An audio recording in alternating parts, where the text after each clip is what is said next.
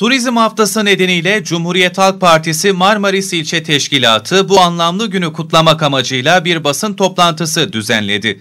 Partinin teşkilat üyelerinden Pelin Özboz da özellikle Marmaris'in önemli bir geçim kaynağı olan turizm sektörünün farklı iniş çıkışları, farklı renkleri ve dilleri bir araya getirdiğini ifade ederek turizmin sevginin pasaportu olduğunu dile getirdi. Marmaris turizm sektöründe doğal, arkeolojik ve ekolojik değerleriyle bir dünya kentidir. Turizm Marmaris'in hem bugünü hem yarınıdır. İlçemiz 80'li yılların sonlarından itibaren plansız rant ön plana çıkarılarak çarpık kentleşmeye kucak açmış, özellikle doğal çevremiz çok zarar görmüştür.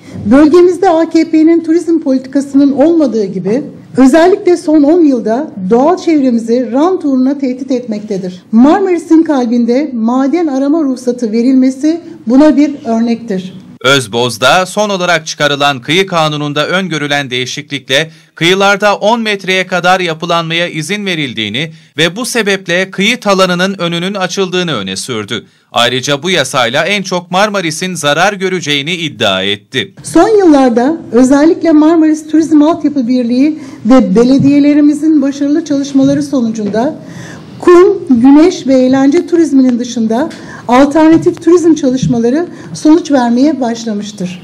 Turizm sektörünün lokomotifleri olan seyahat acenteleri ve otellerin zor durumda olduğunu ifade eden Özboz'da, seyahat acentelerinin akaryakıt zamlarıyla dünyanın en pahalı benziniyle erimekte olduğunu savundu. Ayrıca Özboz'da her şey dahil sistemini de eleştirerek küçük apart ve otellerin bu sistemde yok edilmeye çalışıldığını ileri sürdü. Otellerimizin özellikle Akdeniz ülkeleri içinde rekabetçi olabilmeleri için mutlaka devlet desteği gerekmektedir. Otellerin zamlardan etkilenmeleri önlenmeli, vergi yükleri mutlaka azaltılmalıdır. Özboz'da turizm sektörünün sürdürülebilir olması için ilk olarak ekolojik dengenin korunması gerektiğini öne sürerek Marmaris için önemli olan denizin turizm gelişiminin temeli olduğunu ifade etti sürdürülebilir turizm anlayışıyla köylerimizi de içine alan yeniden yapılanma hamlelerinin devam etmesine sahip çıkacağız.